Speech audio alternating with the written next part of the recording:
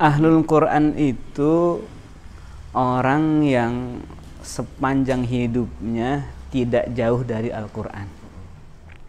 Orang yang selalu bersama Al-Quran, dia baca Quran, meskipun tidak hafal ya, meskipun tidak hafal, tapi setiap hari dia bisa istiqomah membaca Al-Quran itu misalkan sampai 5 juz, tapi nggak hafal Quran.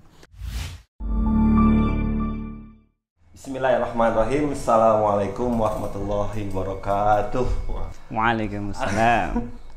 Deg-degan banget ini asli baru pertama ini udah lima tahun baru ngaji baru pertama ini kita Ini enggak enggak Tuhan siapa kira-kira?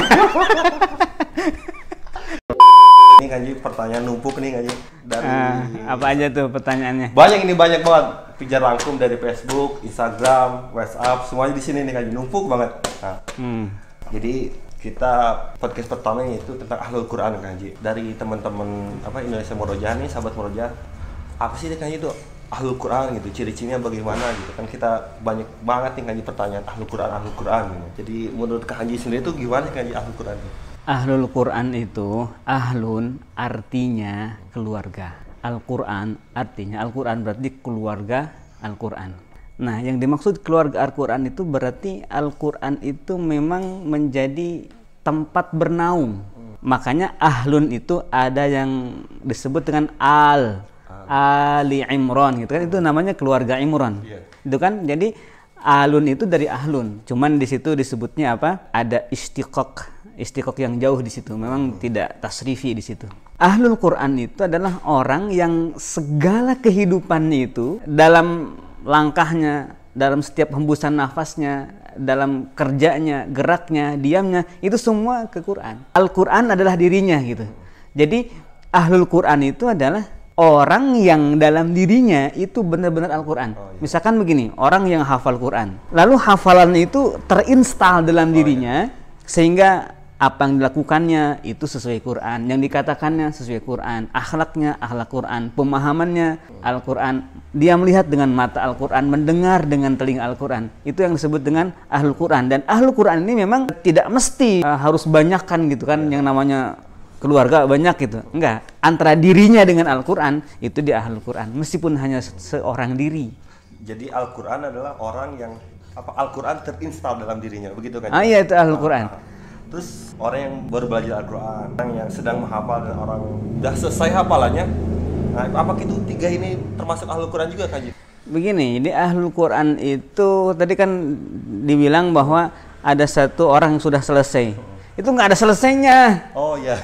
ya mana ada iya Terus kapan selesai ya? selesainya itu adalah ketika kita punya hafalan dan nyawa kita dicabut oleh Allah dalam keadaan kita hafal Al-Quran. Jadi hafalannya nggak dicabut oleh Allah Subhanahu Wa Taala. Mungkin untuk mengumpulkan ayat di dalam hatinya itu ada waktunya, durasi tertentu. Bahkan itu bisa sebentar, nggak mesti lama-lama.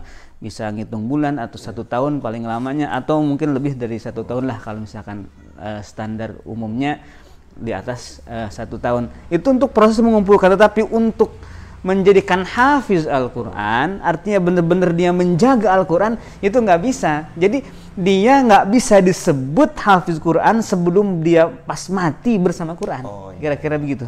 Jadi nggak ada, udah selesai itu nggak ada. Belum selesai orang masih hidup kok. Terus ada lagi nih Haji pertanyaan nih. Jadi Jangan tegang dong.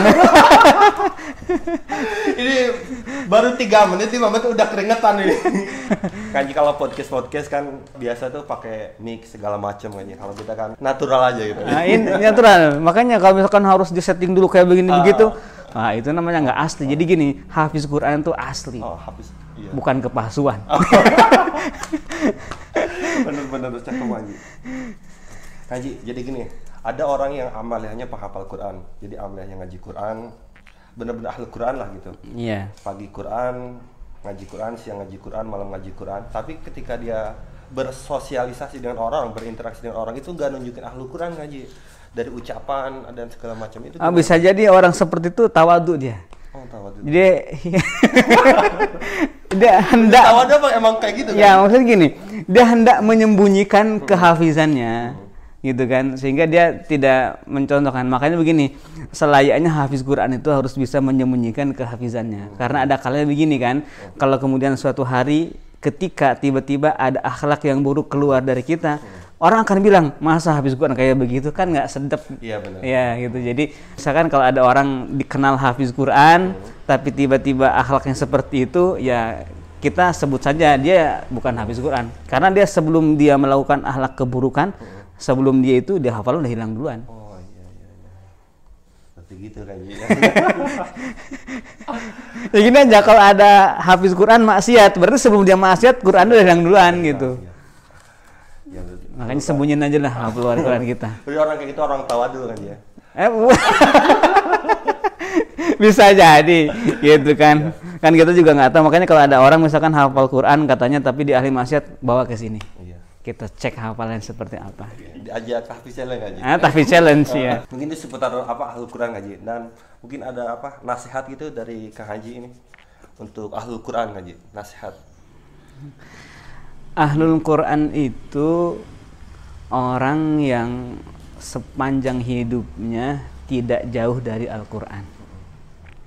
Orang yang selalu bersama Al-Quran, dia baca Quran, meskipun tidak hafal ya, meskipun tidak hafal, tapi setiap hari dia bisa istiqomah membaca Al-Quran itu misalkan sampai 5 juz, tapi nggak hafal Quran. Kemudian tampillah karakter-karakter dalam dirinya, cara pandangnya, pemahamannya, akhlaknya dan lain sebagainya itu sudah masuk kategori ahlul Quran daripada misalkan ini formalitas nih hafiz sertifikat hafal 30 juz tetapi tidak ada aktivitas rutinitas setiap hari itu untuk murojaah yang seimbang itu bukanlah ahlul Quran. Jadi ahlul Quran itu bukan yang selesai menghafal 30 juz tetapi yang tidak berhenti menjaga Al-Quran sampai akhir hayat. Itu ahlul Quran. Mantap. Ya. Jadi begitu teman-teman. Jadi Al-Quran Ahlul Quran adalah orang yang tak pernah berhenti Menjaga, akhir hayatnya ah. menjaga Al-Quran. Dengan bacaan, Dengan bacaan, pemahaman, pemahaman, pengamalan. dan pengam- pengamalan. Alhamdulillah. Oke baik. Mungkin itu aja dari podcast pertama Indonesia Moroja. Kurang lebihnya dimohon maaf. Ini benar-benar tegang banget kan. Santai aja, nggak usah. Soalnya podcast kedua kita ada Asli. suasana asli enjoy juga sih. Hmm, ya, kita harus asli. Ingat, ingat. Hafiz Quran tuh keaslian. Kita ulang lagi, bukan kepalsuan. Makanya nggak usah syuting-syuting kayak gimana. Udah di sini aja nih. Jadi ini asli dan natural dan nggak dia apa nggak ada diada-adain. Udah mau dimaafin nih maaf. Kurang lebihnya maaf. Sekian, Assalamualaikum warahmatullahi wabarakatuh.